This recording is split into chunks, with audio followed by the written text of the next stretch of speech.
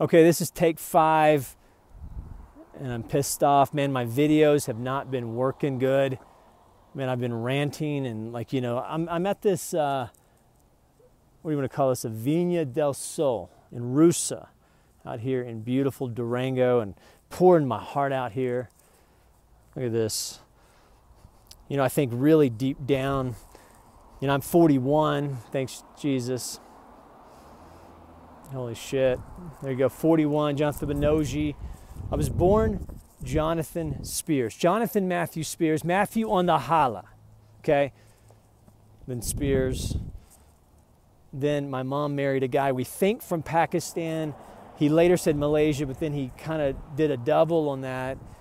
And on 9/11, he told us not to tell anybody. He was, we like, nigga, we thinking you're from Pakistan. Like, what, Malaysia? We, it's like he didn't think anyway. So we are from Oklahoma. My mom, beautiful. My mom. I mean, and you know, I, I have to pray for my mom. You know, I'm one of those.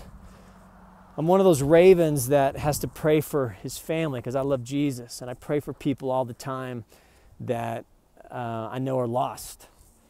And this journey of raven it's what I'm called homeless because I want to destigmatize homeless people because how feminism has just notice how that there's this movement of feminism using the word homeless very very pejoratively almost like if you said cunt you know uh, and the equivalent of homeless is calling a woman a cunt and i know that's not acceptable so i want to call kathy at manna a cunt. I want to call Durango adult education woman a cunt because, well, I got kicked out of Manna.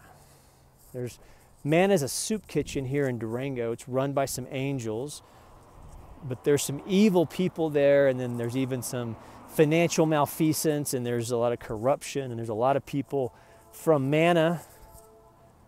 This beautiful Durango. I love this city. Fuck this city, I love it just a lot of selfish people.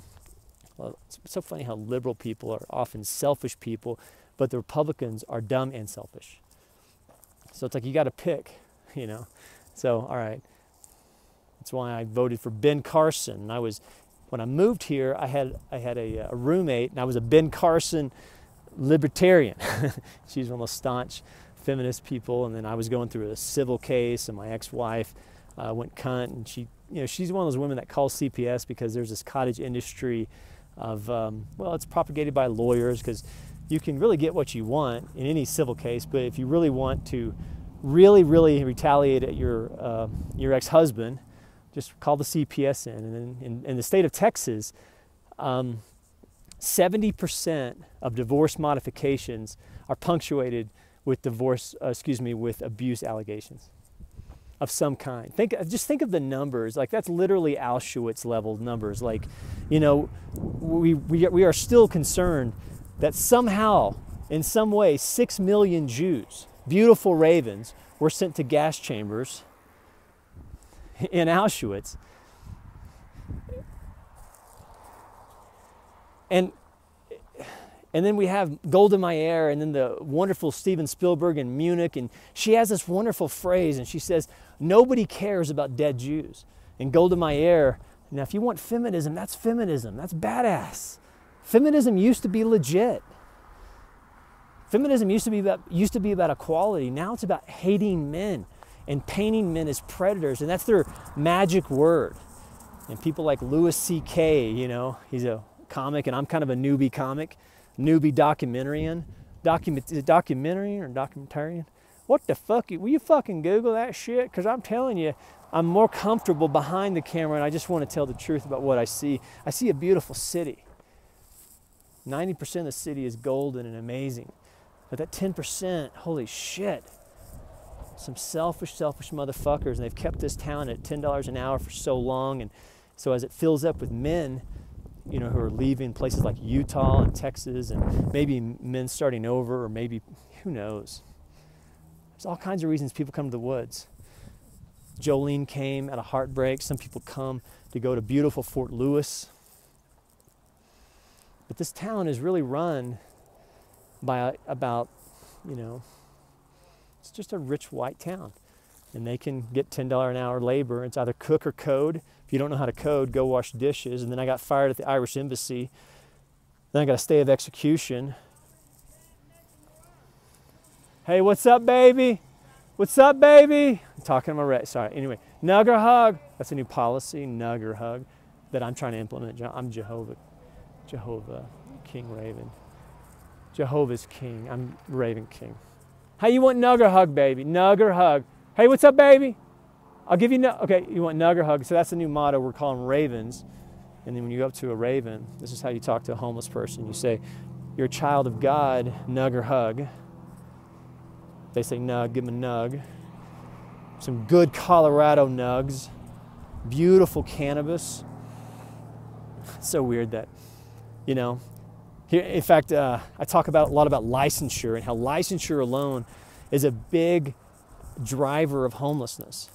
Because you know, here in Durango, you have to have about hundred dollars to get, or two hundred dollars to get a uh, a cannabis license to to work, to to have a, to to make a living and how that that um, that system, or what do you want to call it, that that practice of making a man get a license to work, and how politically we're using that as a political tool. And you know, if you want to just get rid of X amount of people in your industry, just raise the licensing fee to, I don't know, for me it was 200,000 when I ran my mortgage company. I didn't have 200,000. I only had about 40. I moved out here to day trade. I finally taught myself how to day trade. You know that story that I moved out here to San Francisco, or I moved here. Finally taught myself how to day trade. I only had about 40,000. That was borrowed money because I overpaid my employees. And anyway, there's all kinds of reasons people go Raven. And I was just too good to my employees and too good to my my customers for 10 years. I made a ton of money. I didn't take care of Jonathan. And then when my ex-wife wanted to really get rid of my custody, I said, bitch, no, no, no, no. I'm going to make sure that you have court ordered visitation. And I got court ordered visitation. Of course, she never honored that. And then when you try to get your court ordered visitation, they just say it's a civil matter. So men lose their kids slowly, you know. In fact, I went to jail in Littlefield, Texas, because I was trying to plan a summer vacation schedule and my ex-wife says, "Oh, you know, we were going to kind of get together and talk about it." And I said, "We don't have to talk about it. Let's just email it. Let's be done. Let's commit to it, so I don't have to fight with you for my Texas 2503." You know that story.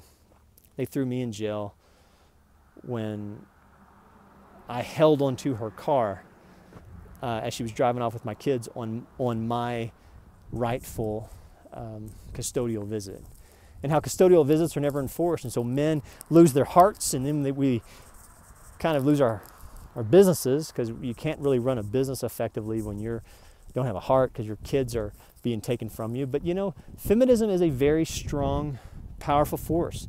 And feminist and feminism, people see that as power because there is this now cottage industry of, well, just this week, I mean, what, twice a week we hear some woman um, using sexual allegations to make money.